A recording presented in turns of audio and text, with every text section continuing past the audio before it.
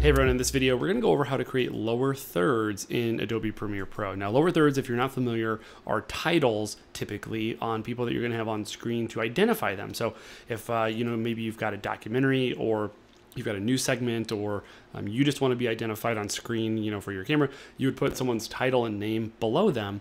That way a viewer can identify them. And they take up the lower third of the screen typically. That's how they get their name. We're going to create these really quickly. So let's go ahead and hop over into Premiere Pro. Now, I've got a couple of clips here just to illustrate what we're doing. Um, one of them is, uh, they're both a photo of me. One of them I am facing left, the other one I am facing right. And uh, I, I, did this just to illustrate that, you know, a lot of times we have someone looking off to the left or the right hand side of the screen, and I want to be able to adjust this.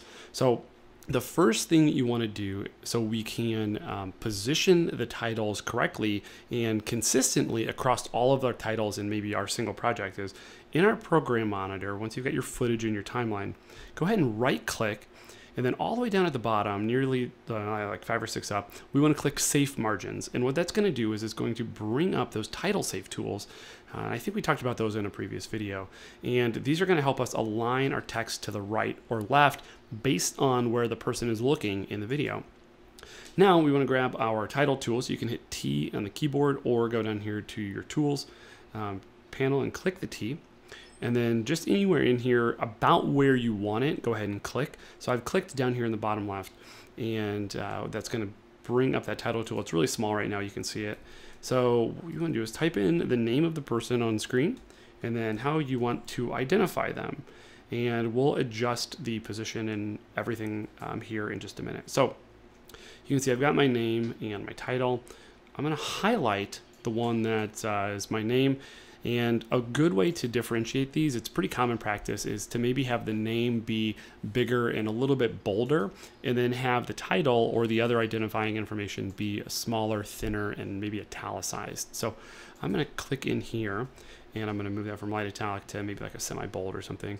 And then I'm going to uh, make it a little bit bigger. Uh, that way, uh, we have got, let's see, I need to highlight that again. Let's just go ahead and drag that up even a little bit more.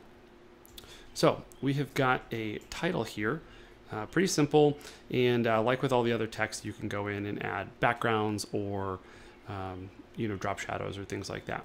But what we want to do is make sure that, let's say I am looking off left in this shot, and we want that title to maybe be down here in the bottom left where I'm kind of facing it. And you could have it under me on the bottom right if you'd like, but for consistency, we're just doing this. So you can see we're going to position that there, making sure that right down in that corner, we've got that title. And then we'll click and drag this here. Uh, so that first clip, really simple. I've got the um, my name and my title. Let's say you've got someone facing the other way though. Well, instead of clicking out here and create, trying to create a new title from scratch, uh, what we want to do is duplicate this template that we've already created. So you can do that by clicking and dragging it out, that original title that you did, and then cutting there in the middle. And then the second one that you edit is going to be the new one.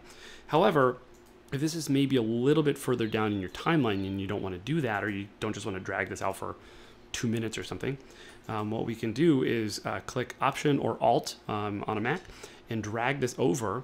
And now you have got a identical duplicate templated sort of title that you can do. So uh, once this loads, we're going to see where it's down here in the left. And now that this is loaded, you can see that uh, that title is the exact same, but we're going to adjust it so that it is in the bottom right-hand corner now. And we just do that with the align right. And it has gone off screen a little bit, but that's okay because we're going to adjust that. We're going to go down here to that position and we're going to drag it over. Click it on the screen and then I'm just going to drag this over until it is in that same position that it was um, just on the right hand side of the screen. So really, really simple.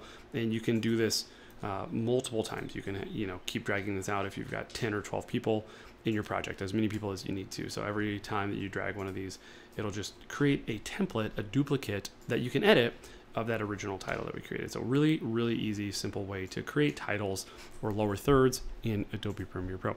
Thanks for watching, and I will see you in the next video.